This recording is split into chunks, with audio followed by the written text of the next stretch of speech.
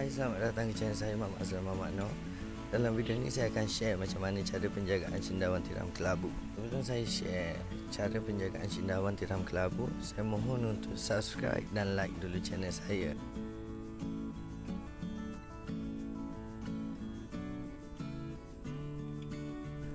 Hari ini saya akan share bagaimana untuk uh, mengendalikan bongkah cendawan. Okey untuk video kali ini first kali saya akan sharekan dulu uh, pengenalan kepada anda uh, bongkah cendawan ya. Uh, ni bongkah cendawan. Uh, ini kita panggil leher dia. And then this is uh, cap dia. Untuk proses pemeraman lah.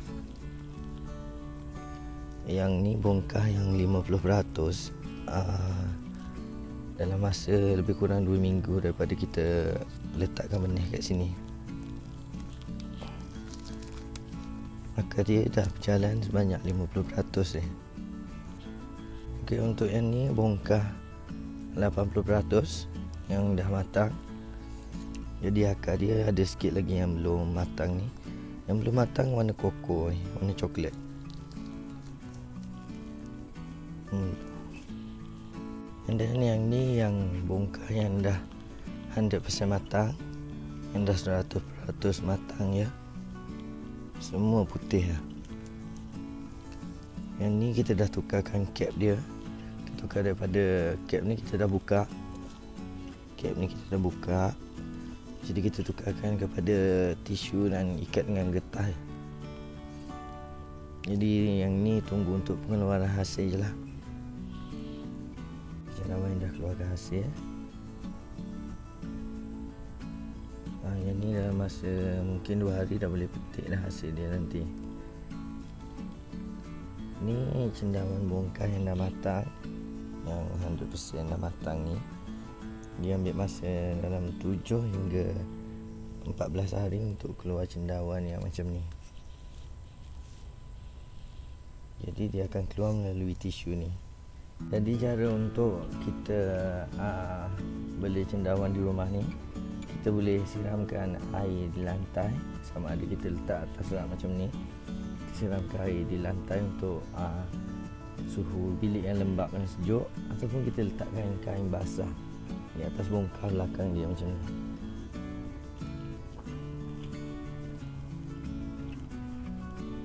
Letakkan saja kain basah macam ni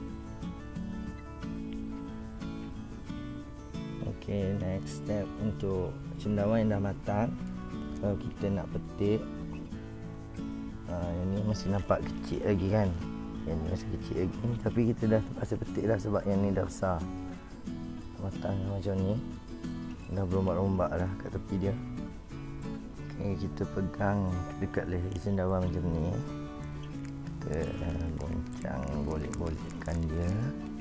Sampai rasa macam dah cabut dah. Dan kita tarik dia macam ni. Okey.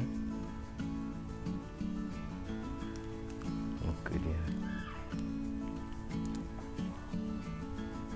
Okey untuk uh, benih cendawan daripada Thailand ni uh, benih dia 30 hari. Jadi uh, lepas uh, proses uh, kutipan hasil jadi benda ni cendawan tak perlu nak tutup lagi sudu atau ni kita steril atau basuh dengan dettol sebelum digunakan.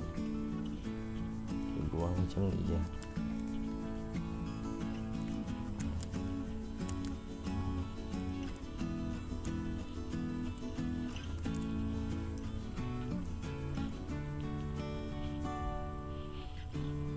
Nampak bersih kita just tinggalkan dan biarkan dia macam ni Jangan lupa tempat kena sentiasa ada udara lembab dan sejuk. Jadi dalam masa 7 hingga 14 hari dia akan keluar balik cendawan baru. Dia akan berulang step ni dalam masa uh, mungkin 2 bulan, uh, 4 hingga 5 circle.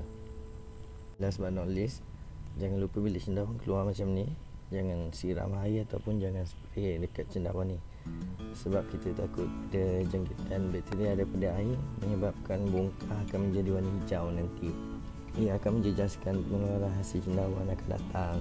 Sebelum saya akhiri video saya ini jangan lupa follow dan subscribe channel youtube saya Muhammad Aslam Muhammad Nawar